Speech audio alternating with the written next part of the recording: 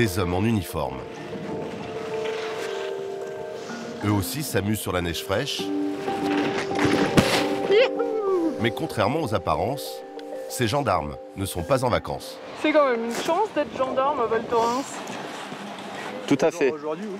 On a quand même un cadre, de, un cadre de travail et des conditions de travail qui sont quand même, oui, euh, très favorisées par rapport à beaucoup de nos collègues euh, dans des villes euh, beaucoup plus difficiles. Shérif des pistes, ces gendarmes sont là pour faire régner la loi. Aujourd'hui, ils vont vérifier les abords du célèbre bar d'altitude, la Folie Douce.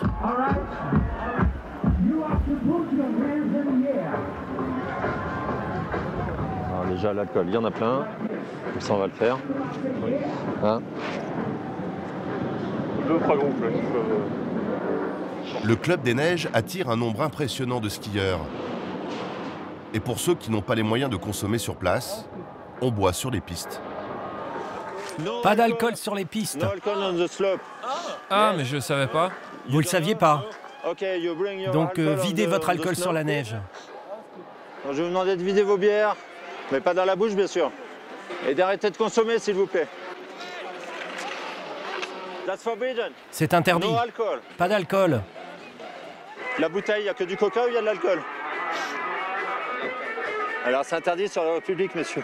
Et sur les pistes de ski. Et a fortiori, euh, le cannabis, euh, nulle part, quoi. Chez vous, si je vous vois pas, mais c'est tout, quoi. Vous me donnez ce que vous avez, monsieur? Bah, On va fouiller, de toute façon. Alors, s'il y en a, vaut mieux le donner. Très bien, ok. Les autres, c'est fait? Donc, il y a quoi? 3 juin Qu'est-ce que c'est le, le principal problème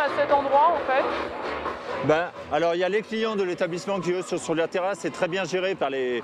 Il y a suffisamment d'agents de sécurité, etc. Donc c'est bien tenu.